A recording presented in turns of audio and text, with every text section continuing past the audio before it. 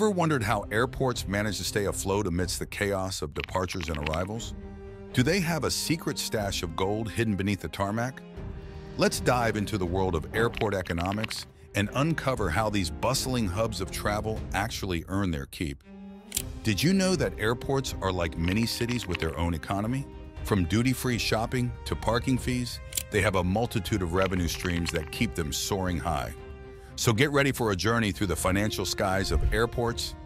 Airports are fascinating places, not just for the sheer number of people passing through, but also for the intricate web of businesses and services that operate within their boundaries. It's easy to take for granted the fact that airports are self-sustaining entities, generating their own revenue to cover the costs of operations and maintenance. But have you ever wondered exactly how they do it? In this video, we'll explore the various ways airports earn money. But first, we'll know about the history of airport financing, the complex processes involved, and even take a lighthearted detour to discuss the role of balloons in aviation history. By the end of this journey, you'll have a newfound appreciation for the financial wizardry that keeps airports running smoothly. Number one is passenger service charges. These are the primary sources of aeronautical revenue for airports. These charges are levied on each passenger departing from an airport and are indirectly included in flight tickets. The amount of these charges varies depending on the destination of the flight. Charges for domestic flights are generally lower, followed by regional flights, like intra-European Union or intra-ASEAN, with international passengers typically charge the highest rates. Governments often encourage airports to set lower fees for domestic flights to promote national connectivity. PSCs account for a significant portion of an airport's total aeronautical revenue, typically around two-thirds. However, this ratio can be slightly lower, ranging around 50% in some cases. The collected PSCs are a crucial source of income for airports, especially for small and medium-sized airports, with limited international flights and connectivity. Number two is landing fees, which are charges paid by aircraft operators to an airport for landing their planes at that particular airport. The amount of landing fees varies based on several factors, such as the weight of the aircraft, the number of seats, the time of day, the aircraft's home airport, and the operator class. Some airports may charge higher fees for specific types of operators. The fees are typically calculated per 1,000 pounds of the aircraft's maximum gross landing weight. Landing fees are used by airports to cover the costs associated with maintaining and expanding the airport's infrastructure including runways, taxiways, and aprons. Some airports use landing fees as a tool to attract more flights by keeping the fees low, while others, such as congested airports, can charge premium prices due to high demand. However, some airports, particularly general aviation airports, may not charge landing fees. Now we understand aircraft parking fees. These are the charges levied by airports on aircraft operators for parking their planes at the airport.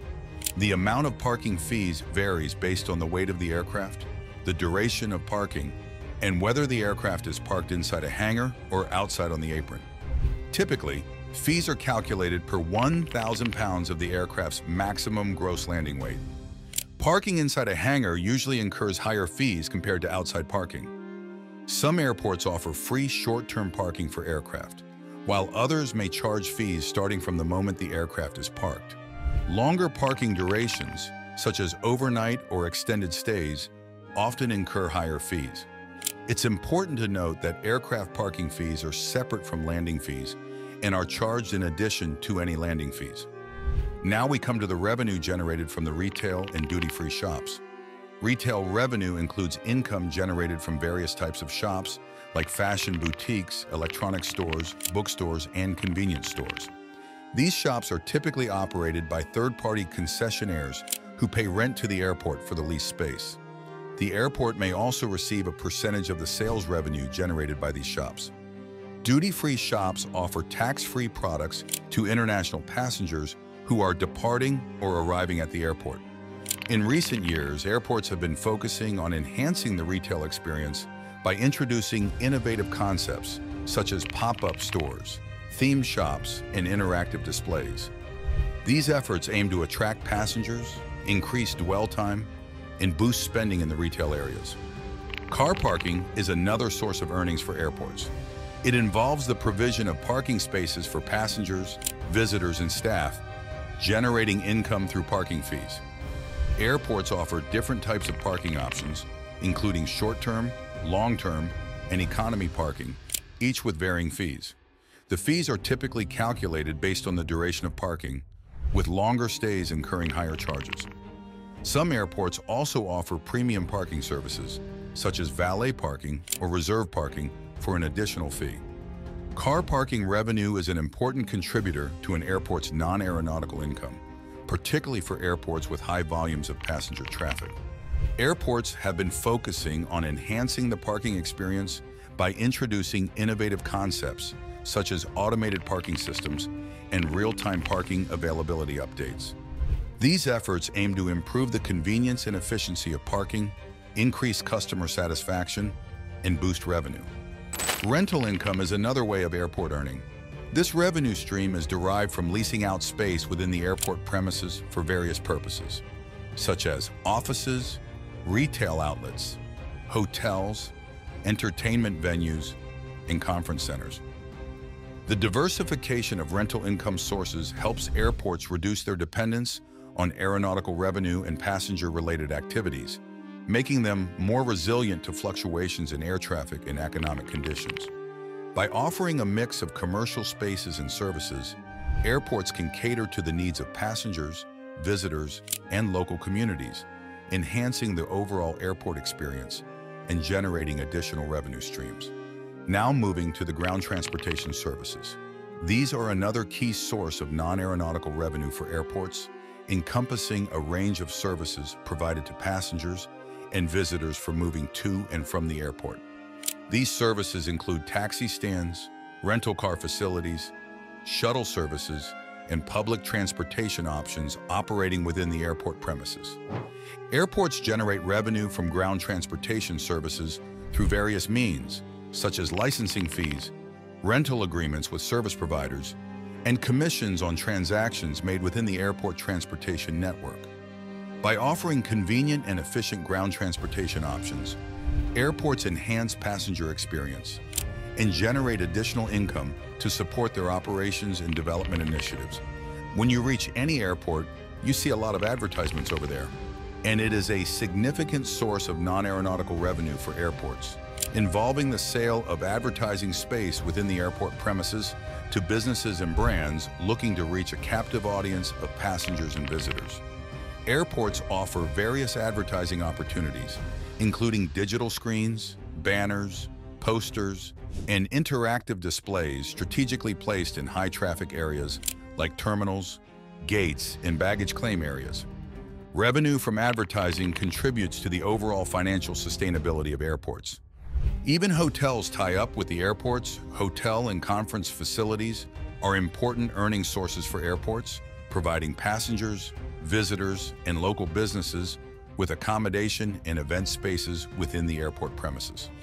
Airports often lease space to hotels and conference centers, offering convenient options for travelers and event organizers. Revenue from hotel stays, conference bookings, and event rentals contributes to diversifying the revenue streams and enhancing the airport's appeal as a multifunctional hub for business and leisure activities. Real estate development, yes, you heard it right. It is also a vital source of revenue for airports, involving the leasing or development of airport land for commercial, residential, or mixed-use purposes. Airports utilize their land assets to generate income through long-term leases, property sales, and joint ventures with real estate developers. You have definitely noticed the scanning of luggage in airports, these baggage handling fees charges are levied by airports on passengers for the handling and transportation of their checked luggage. The amount of baggage handling fees depends on the weight, size, and number of checked bags. Passengers may be required to pay additional fees for overweight, oversized, or excess baggage that exceeds the airline's allowance. Baggage handling systems are complex conveyor networks that transport checked luggage from ticket counters to aircraft and vice versa.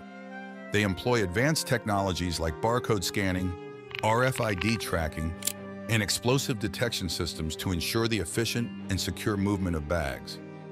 Chapter Conclusion And there you have it, folks. The not-so-secret world of airport earnings is laid bare for your amusement and edification. If you've enjoyed this journey through the financial clouds of airports, give us a like for the hard work behind this informative exploration. Don't forget to subscribe for more engaging videos and be part of our growing community of curious minds. Until next time, keep your feet on the ground and your head in the clouds. Happy travels.